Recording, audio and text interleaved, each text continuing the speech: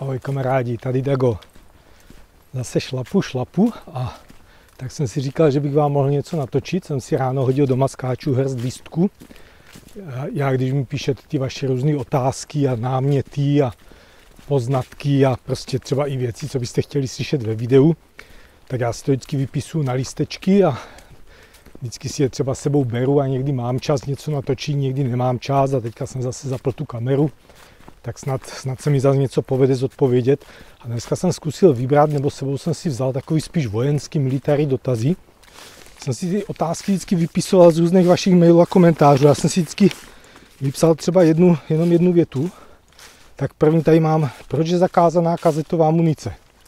Kazetová munice používají hlavně rusové, nebo v těch našich zprávách se to tak tvrdí, na Ukrajině. A jde o to, že letí letadlo, nebo prostě vystřelí se dělostřelecký granát, který se skládá z nějaké kazety, z nějakého kontejneru, z nějakého obalu, ve kterým je vložený velké množství různých malých výbušných zařízení. Něco na způsob granátu. Jo? A vlastně to je vystřelený nad určitou oblast, kde se třeba pohybuje velké množství vojáků a ten kontejner se otevře a vysype z toho několik stovek až tisíc těch malých výbušných aparátů nebo granátů, nebo nevím, jak to, jak to nazvat, a oni prostě dopadnou víceméně v jednu chvíli nad na zem a pokryjou velkou obraz, oblast několika stovek čtverečních metrů a tam víceméně v řádu jedné sekundy nebo dvou sekund všechny zaráz vybuchnou, takže pokryjou střepinama, i když jednotlivě mají velice malý účinek, vždycky každá ta jednotlivá výbuška nebo každý ten jednotlivý granát, tak tím, že vybuchnou zaráz, tak každá ta výbuška pokryje prostor několika čtverečních metrů, kde zabije případnou živou sílu, případně nepřátelské vojáky, ale tím, jak vybuchnou všichni zaráz, tak vlastně zničijou nebo pozabijou velkou část živé síly na velkém úseku fronty, třeba několika stovek metrů a tím pádem se tam dá vniknout, dá se tam udělat nějaký průlom, nebo jenom prostě ta nepřátelská strana přijde o vojáky. Toto je v podstatě účinek jednoho jediného kontejneru, jedné jediné vybušniny. A samozřejmě to letadlo jich může mít několik, nebo těch letadel může letět několik za sebou. Takže nad tím územím, nad tím dobývaným nebo napadeným území, tak těch kontejnerů může vysypat ty bomby několik desítek, případně i několik stovek, pokud je to fakt masivní útok. Takže na tu zem se dostanou tisíce až desítky tisíc těch výbušných zařízení, dejme tomu, že těch jednotlivých granátů, jo? Takže jednou třeba nějakou salvou jako, e, raketometu nebo jedním nějakým přeletem několika letadel, tak skutečně může umřít velké množství lidí na velkém úseku fronty nebo na velkém úseku města nebo třeba celá vesnice. To je problém, to je velký problém z toho humánního hlediska. Jenomže pro tohle to není ta kontejnerová munice zakázaná. Prostě válka je válka, lidi umírají a že se používají účinné zbraně, no nedá se nic dělat. Každá ta strana chce použít co nejúčinnější zbraně. V některých země se té kazetové munice zřekli, podepsali nějaký dobrovolný, nebo připojili se dobrovolně k tomu zákazu, jiní se ji nezřekli. Myslím, že Rusko eh, se nezřeklo kazetové munice, tak ji používá a myslím, že ani Ukrajinci ne.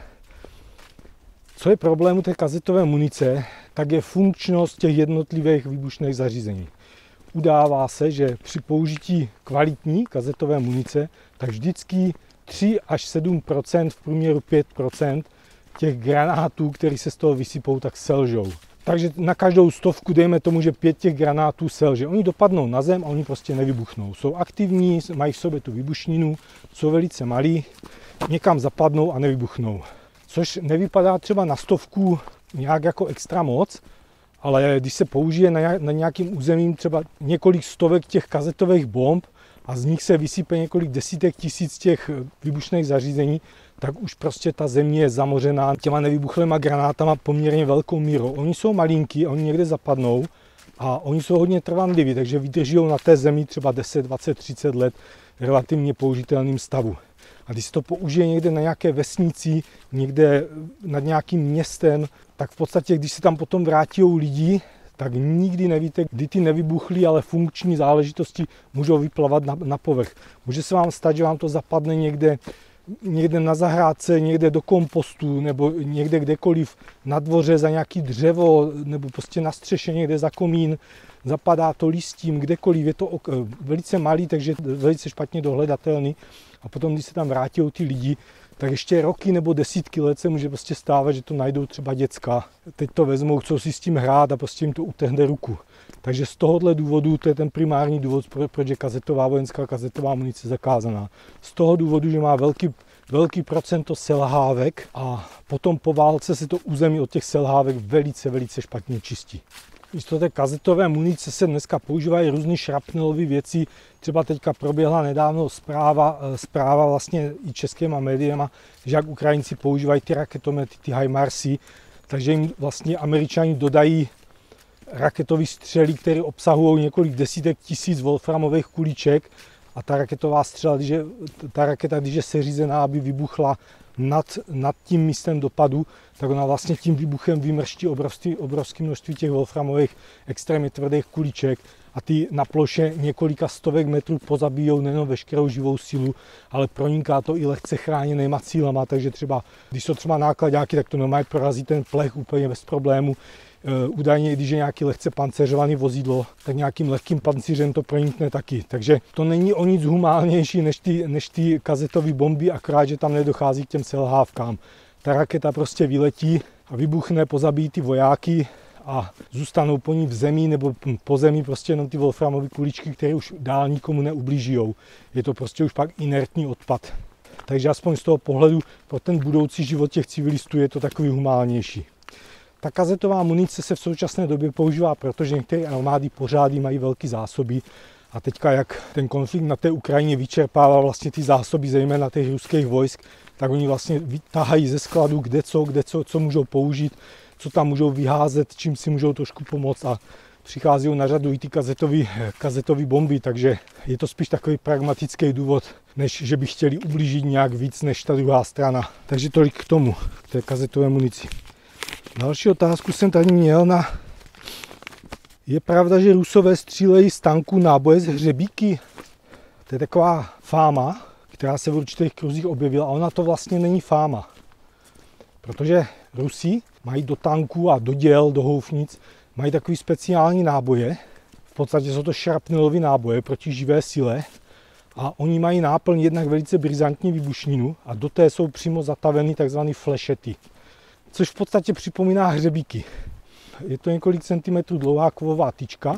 Na jedné straně má vlastně vytvarovaný hrot, v podstatě jak hřebík, úplně z té jedné strany vypadá jak hřebík. A z té druhé strany nemá hlavičku, ale tím, jak je stvaklá v lisu, tak má dvě nebo tři takové křidílka, že ona vypadá jak velice zmenšený šíp. A v podstatě název flešeta je, myslím, i, i z francouzštiny a myslím, že to znamená dokonce i malý šíp, ale to nechci hádat, to je jenom, co mi tak uvízlo v hlavě. Nicméně jde tam o to, že ta munice do toho tanku, ona je relativně velice stará, dneska už jsou modernější protipěchotní střely, ale jak jsem říkal v tom minulým, v té minulé odpovědi, tak oni tahají ze skladu kde co a teďka prostě spotřebovávají obrovské množství i té munice, co měli někdy ještě ve skladech mnoho desítek let a vytáhli i ty náboje s těma flešetama. To je teda masakr.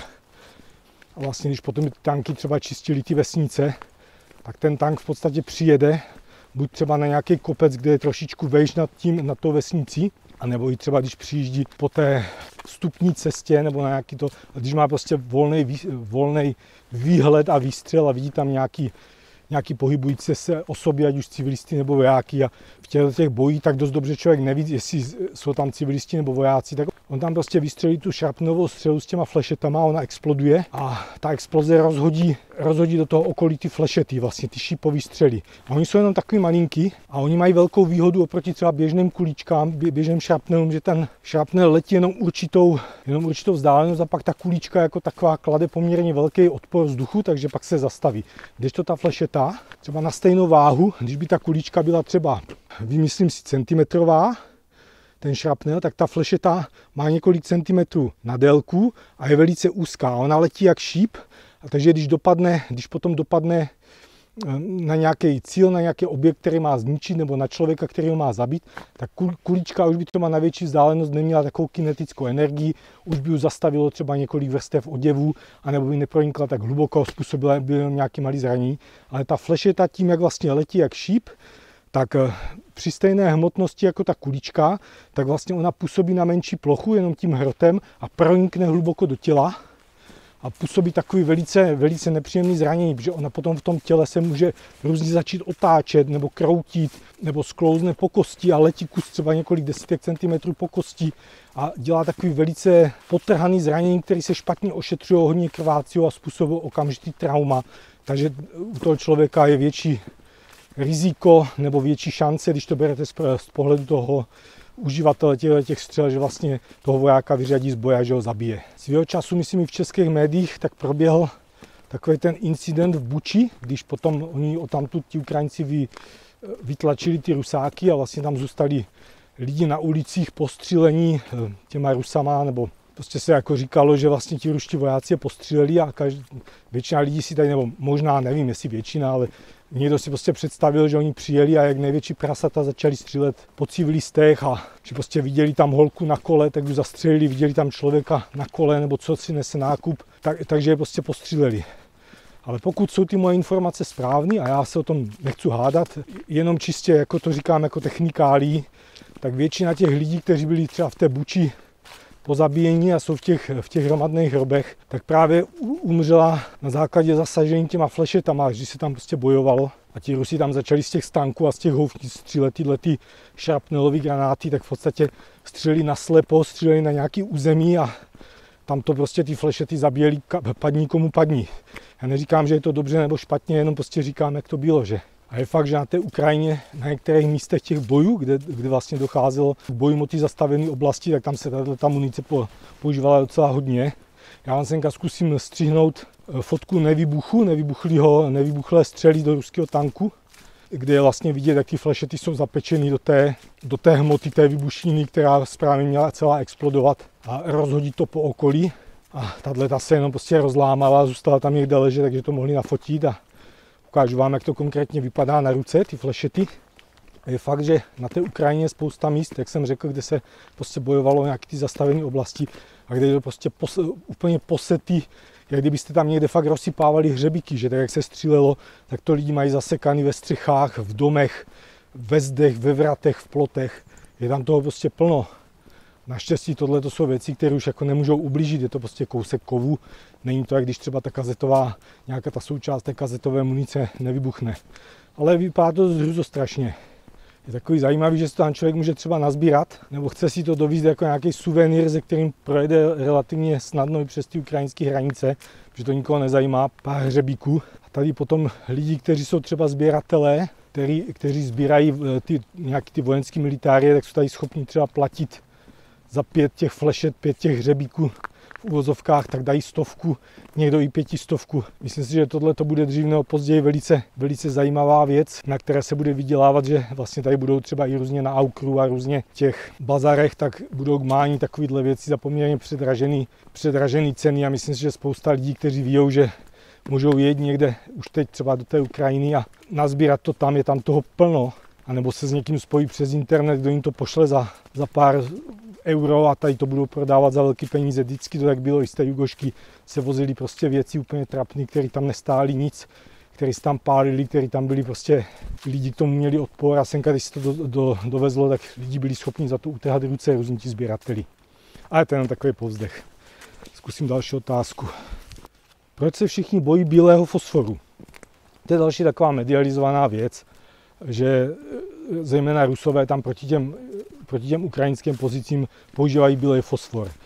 Není to nic extrémně účinnějšího než jiný zbraně, než jiný střely. Já mám prostě pocit, že skutečně ti Rusové se snaží vystřílet všecko, co mají, eh, použít všecko, co mají. A že to není o tom, že by chtěli lámat nějaký mezinárodní konvence, nebo že by ten bílý fosfor byl nějaký extra účinný.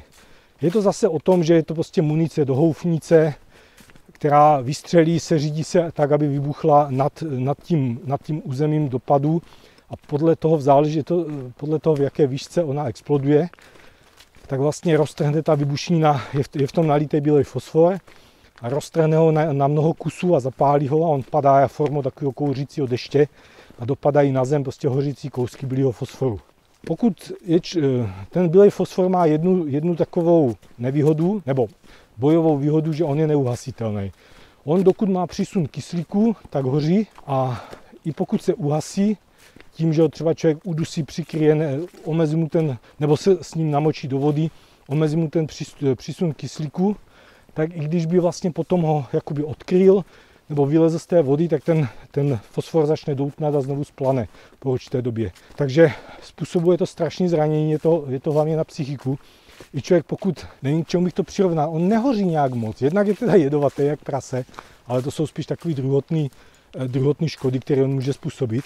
Ale když člověk dostane na sebe kousek fosforu ve velikosti třeba zápalkové hlavičky, tak ona prostě na něm bude hořet několik minut, než, než uhoří. Představte si, když škrtnete zápalkovou hlavičkou, asi takováhle intenzita plamene. A takováhle intenzita plamene by na vás byla několik minut, tak se vám to prostě propálí do těla, propálí se to do kostí, usmaží to tkáně všude kolem toho bezprostředního okolí. A buď to, buď to jde vyplachovat nějakou, teďka si na tu chemikáli nespomenu, když to prostě v těch polních nemocnicích hasijou, tak to vyplachují nějakým roztokem a teď si nespomenu, jaký, ale není to důležité, protože stejně ho nebudete mít k dispozici. No a nebo si to musí, dokud ještě ten fosfor na povrchu, tak když to vidíte u kamaráda, tak mu prostě vydloubnout nožem nebo lžičkou nebo něčím, um, což je takový zase, to se snadno řekne, ale pokud má někdo pocit, jak kdyby ho autogenem pálili dozad nebo do nohy, tak vám úplně tak moc asi jako držet nebude. E, v tomhle tom je ten fosfor nebezpečný, že je takzvaný jako nehumální. Ta jeho hlavní bojová síla je v tom, že zapálí kde co. Tak jak dopadne a nejde uhasit a hoří, tak on prostě propálí všecko propálí nějaký dřevěný stropy, zapálí auta, nebo je propálí, propálí pneumatiku, poškodí sklo přední, když to na tom hoří. Je to tak účinné, jak kdybyste někde dali kostku lihu a zapálili lihu, tak prostě tam, kde ji položíte, tak dovedete si představit, kterým materiálům to škodí, kterým ne. ne nejsou pravdivý ty fámy, že, že bílej fosfor prohoří přes beton a přes, přes cokoliv, přes ocelový plech. Ne, to není pravda to zase už jsou takové fámy, které spíš plynou z toho vyplašení, když člověk zažil nějaký bombardování bylým fosforem, tak je to skutečně tragický. Všude kouř, všude smrad, je člověku z toho blbě, teďka prostě hoří kde co, teďka když ještě to zasáhne nějaký kamarády, tak oni jako poměrně intenzivně hlasitě to dávají najevo, než umřou, že to prostě pálí. I pro ty přeživší to musí být strašně zážitek a potom nějaká ta prezentace následná o tom, co se skutečně dělo, tak je taková hodně nadnesená. Tolik asi k bílému fosforu. Podle mě zase používá se to proto, že, že, že ti rusové mají v těch svých muničních skladech zásoby této munice, která byla připravena na nějakou válku a teď se prostě snaží použít všechno, co mají.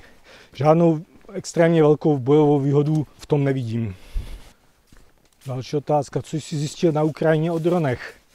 Já jsem točil takový krátký videjko, pár, pár takových věcí o dronech. To je docela věc, o kterou se zajímám, protože ty, ty drony v tom konfliktu hrajou poměrně zásadní roli a hodně, hodně, se tam, hodně tam jde dopředu ten vývoj, jak v tom použití těch dronů tak eh, při té obraně proti ním. A je zajímavé, že vlastně dřív se na tu Ukrajinu posílalo kde co, i třeba nějaký ty soukromí drony, lidi tam jezdili nebo předávali svoje drony a ti Ukrajinci brali kde co, aby to použili. A teď už to dost omezili eh, z jednoho, z jednoho důležitého důvodu, že vlastně každá ta technika je nějakým způsobem zranitelná. Každá eh, technika, elektronika. Má nějaký slabý místa v tím softwarovým, v tím softwarovým vybavení, nějaký ty prostě ty zadní vrátka, a většina těch dronů je velice dobře vypátratelná, i pokud jsou ve vzduchu. Já jsem třeba zjistil, nebo mi bylo sděleno, že ty drony DJI, GAI, jak se to čte, ten, nevím, tak ty vlastně vysílají polohu, minimálně některé ty typy tak vlastně vysílají polohu nejenom tu svoji, když jsou ve vzduchu, ale i toho operátora, v podstatě odkud vzlitlí, tak se dá přímo, když se člověk na ně naladí a je firma, která na to dělá takový krabice, který právě dodávala těm, těm Rusům a Ukrajinci se proti tomu dost jako ohradili, že, že jim potom zabíjou lidi. Tak vlastně ty drony DJI, tak vlastně v tom základě, když si to koupí civil, tak vysílají, vysílají polohu nejenom svou, ale vysílají polohu i toho operátora. Je to údajně proto, aby když by ty drony byly používaný v nějakém nekalém účelům v běžných civilních těch, tak aby vlastně policie mohla velice snadno lokalizovat toho operátora a případně ho dopadnout. A samozřejmě v tom, v tom prostředí té války na Ukrajině tak to kolikrát znamenalo zničení zabití nejenom toho operátora, ale zničení celé té jednotky nebo toho místa, odkud ten, ten dron startoval. Takže na tohle to ti Ukrajinci dávají hodně, hodně pozor a dřív vlastně přijímali jakýkoliv eh, elektronické prostředky, a teďka, když jsou třeba nějaký firmy nebo nějaké organizace nebo nějací jednotlivci nebo nějaké skupiny, které sbírají vlastně peníze a kupují za toto vybavení pro tu ukrajinskou armádu, tak ti Ukrajinci už jim říkají, buď ať jim dají přímo ty peníze, že oni si koupí to vybavení sami, přesně takové, jaký potřebují, anebo chcou konkrétní typy, konkrétní typy dronů, kde, kde oni už to mají vlastně od těch svých specialistů softwarově ošetření, že vlastně přijde jim ten dron a oni ho prostě ehm, nahrajou tím svým softwarem, zalátají tam ty chyby, o kterých se ví a potom ten dron není tak jednoduše, jednoduše odhalitelný, nebo hlavně ten operátor. S tím trošku souvisí s tou elektronikou i, i takový to používání těch mobilních telefonů. My to asi známe v té České republice těch, z těch zpráv, jenom z těch informací o těch ruských jednotkách, jak z nich jako dělají debily, jak se domluvají mobilama, jak, jak je prostě ti herní Ukrajinci ničijou. Ono to funguje bohužel na obou dvou stranách. Tam přišlo do té ukrajinské armády eh, spousta rezervistů, spousta záložníků, kteří neměli, neměli tak úplně vlastně to bojové vzdělání, neměli tu bojovou východu a každý chce být ve spojení se svou rodinou, každý chce být ze spojení se svou holkou, se svýma dětma a tak spousta lidí má vlastně ty mobilní telefony a třeba v, ve chvíli nějaké přestávky v boji nebo na tajněčku má někde schovaný, pak si chcou napsat nějaký SMSky nebo si zavolat. A bohužel ty mobily jsou velice, velice snadno zjistitelné a používalo se to na obou dvou stranách, že jsou vlastně u té fronty eh, specializované útvary, které vlastně vyhledávají ten signál těch mobilů a potom se tam třeba zaměří palba a na tohle zařvalo prostě spousta jednotek, takže jsou hodně třeba velký tresty v určitých oblastech za to, že když člověk eh, nejenom, že by používal telefon, ale když ho prostě vůbec má. Je to otázka přežití, je to otázka, jestli Eh, ti nepřátelé odpálí nejenom vás, ale i třeba celý, celou tu budovu, kde spíte třeba s dalšíma 20 lidma, takže na tohle to si hodně jako dávat pozor a hodně prostě pítomců, kteří jdou do války ze snahou pomoct, že tam budou nějací dobrovolníci a mají se prostě mobil a chcou být chytří a chcou nahrávat nějaký TikToky nebo se spojovat se svou láskou, jestli náhodou nepodvádí někde v Brně na diskotéce, tak eh, můžou prostě zapřičinit tragicky smrtelné nehody celé té skupiny, takže na to, na to velký pozor. To třeba je hodně věc, o kterou se jako zajímám a která mě rozhodně třeba nenechává chladným, že to jsou zkušenosti, které jsou zaplaceny krví, jak se říká. Ještě abych se vrátil k těm dronům, tak spousta těch dronů je vlastně odchycených, že je třeba sestřelená nebo je elektronicky zarušená, ten dron prostě přistane na té nepřátelské straně a dostane se, dostane se do rukou těm nepřátelským vojákům a oni potom pokud ten dron má nějakou eh, datovou kartu, na kterou se nahrávaly obrazové informace, tak vlastně oni se z toho, jako z toho zase vytěžují věci, které můžou být hodně, hodně potom nepříjemné pro, pro tu stranu, pro ty majitele těch dronů. A je poměrně zajímavé, že spousta operátorů dronů tak dělá takovou chybu, že když ten dron vypouští, tak on už má zapol kameru a vlastně ten člověk se u toho nechá nahrát, jo? takže vlastně oni mají potom fotky Oni mají potom fotky vlastně těch operátorů a když pak po nich pátrají, buď na ně třeba vypíšou odměnu, anebo když je potom dopadnou, tak je to pak velice špatný samozřejmě pro takový lidi. Takže když vypouštíte, vypouštíte z drona z ruky, určitě má smysl mít nějakou kuklu, aby prostě, když ten dron už nahrává, když už zlitá, tak hnedka tomu nepříteli tam neposlat, neposlat SD kartu se svým obličejem. A i když je spousta dronů používána v tom online módu, že vlastně nenahrává nic a jenom jako lítá a vysílá ten signál vlastně tomu operátorovi na display, tak to taky úplně není pravda, že u těch civilních dronů zase ten, zas ten jiný výrobek, že jak se ten dron jmenuje Maverick, nebo jestli to říkám blbě, tak údajně, údajně na té základní desce, co má tu elektroniku, tak vlastně tam je to zalitý nějakou tou živícou, nějakým tím asfaltem, nebo jak to říct. A i když vlastně člověk něm nemá tu datovou kartu, aby on něco nahrával, tak tam je u některých těch modelů taky eh, jako přímo, eh, přímo v tom, na té základní desce je datová karta, která taky nahrává vlastně nějaký data a potom je jako přepisuje pro nějakou vnitřní potřebu toho dronu. Takže taky je docela dobrý na to myslet, a jestli někdo máte Mavericka a rozbili jste ho a pak si to kuchali, tak prosím vás tady napište, jestli, jestli jste tam objevili nějakou SD kartu, Nevím, jestli je to pravda, mě to takhle bylo jako sdělený, že to je dal, další taková. Prostě, že pokud tyhle ty civilní záležitosti mají být používány ve válce, tak je dost důležité je znát úplně ze všech směrů, případně i nějaký ty jejich rizikové místa, které případně můžou ohrozit eh, vás jako operátora nebo majitele toho dronu nebo vůbec tu bojující stranu, když se dostane do rukou nepřítele. Poslední čím skončím tohleto video takovou zajímavostí, tak vlastně ti Rusové, jak se snaží nasadit skutečně všecko na některých těch úsezích té fronty, tak se dostávají, dostávají do boju i takové rarity, nejenom staré tanky, velice staré tanky ale dokonce i třeba kulomety Diktarev, já nevím, jestli to znáte, byl to poměrně, eh, poměrně slušně fungující kulomet za druhé světové války a za té druhé světové války se používal i k sestřelování nízkoletících cílů. Třeba jeden člověk ho držel na rameno a, dělal takovou dvojnožku, nebo stoja a druhý člověk střílel vlastně po nějakém letadle, po nějaké blížící se štuce nebo něčem podobným. A tím, jak ti Rusové vlastně vytáhli ze skladu i tyhle ty věci, které měli taky spoustu a potom třeba následně ustoupili, že ti Ukrajinci vytlačili nebo zahnali, nebo nevím, jak tomu chcete říkat, tak několik těch diktárů eh, vlastně přišlo jim do rukou eh, jako kořistní zbraně a nechali si na ně udělat takový stojany, že vlastně je vytahují vždycky, když je nahlášený letecký poplach, že letí nějaký drony. Takže údajně, údajně, já jsem to samozřejmě neviděl, bylo mi to jenom sdělený, že vlastně s nima se střelují některé ty drony, když oni přilítávají na nějaký konkrétní místa, o kterých se jako ví, že, že se snaží ti Rusie zničit a buď tam třeba provádějí nějakou pozorovací činnost nebo prostě oblitávají, tak tím, že ty drony často stojí eh, ve vzduchu jako stacionárně, tak je vždycky chvilka času, aby z toho dektarevu se na ně namířilo a vlastně i s pomocí nějakých svítících nábojů, tak se krásně ten dron dá zestřelit, pokud, eh, pokud je jako relativně nízko. Takže to je další taková zajímavost, která se mi jako osobně líbila, že i takovýhle v podstatě prehistorické zbraně tam mají mají svou funkci a ukazují se neust, uh, jakoby platný v tom boju. Další otázka, proč se dělají křivé zákopy. To mi psal jeden divák, jeden kamarád a ptal se, že viděl někde, teď nevím, jestli to sleduje na Telegramu nebo kde, kam na ty videa chodíte, že viděl nějaký ruský pozice, kde měli vykopaný zákopy a táhli se nějakou planinou, nějakým prostě polem, že to bylo prostě víceméně rov, jako rovný zákop, že vedl přes nějaký dlouhatánský několika kilometrový pole a že nebyl vykopaný jako rovně, jako jedna linie tím polem, ale že byl jak, jak pila, že, byli prostě, že byl takový jako zuby, že vždycky o několik stupňů byl prostě zahnutý, pak se zase lomil a že vlastně ten zákop byl takový lomený.